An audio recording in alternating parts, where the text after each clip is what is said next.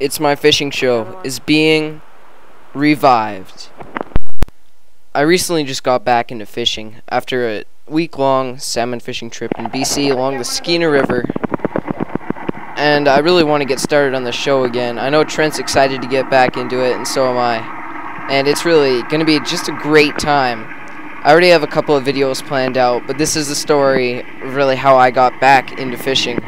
These are little baby cohos at the Kitimat hatchery, but that's not the thing of it. So this is the Skeena River. This is where I fished. We fished along the river. This is the first part on the river. The second part we took a charter on a boat, and uh, charters are always great. And this is a minnow. I have an underwater camera, which is which is awesome.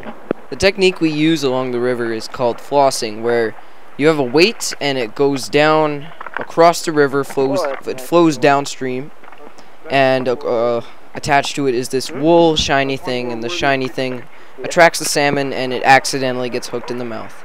And this is how we land the salmon. It's so sophisticated. I know nets are too too mainstream. But the other way to fish is for spring salmon along the Skeena River, and, and for that you use a Spin-N-Glo and some roe, and you get it stuck on the bottom, and you wait till the chinook attacks the roe. This unfortunate soul was fighting with this thing for about five minutes until he realized he was fighting with the bottom of the river. Embarrassing. Now we're from Alberta and we're here slaving on the river because sockeye are the best best eating salmon without a doubt. Nobody can really argue otherwise cuz they just are. And the sockeye are also some of the smaller ones. But it's it provides like it's a spirited fish, so it provides a fight like say a jackfish would.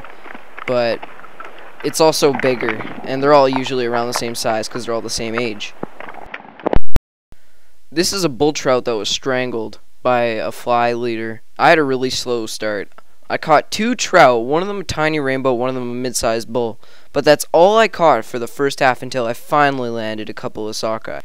Now this fish is a steelhead, and you can't see it all too well because it flopped when I took the picture and it was laying on the rocks and I caught this fish and uh, they wanted to throw it in back really quickly because we were next to some people uh, who were really sensitive about uh, the steelhead fishery, I guess. And the steelhead are kind of rare in there, not in the Skeena, not really. But this steelhead was a whopping 27 inches. And that's what that's what like the guy next to me's rough estimate was. It must have been 20 20 20 pounds. But other people just don't understand the magic that I feel or that I know Trent feels when we catch a new fish that we've never caught before. And it, and it, it really saddens me that I won't be able to remember this uh, steelhead the way that I want to remember it. But this other picture is just a scramble of me trying to get a picture as it's released. And this goes the story of the river. In this next little part or section, we're going to go onto our charter in the boat onto the ocean by Prince Rupert where we catch a lot of enormous fish.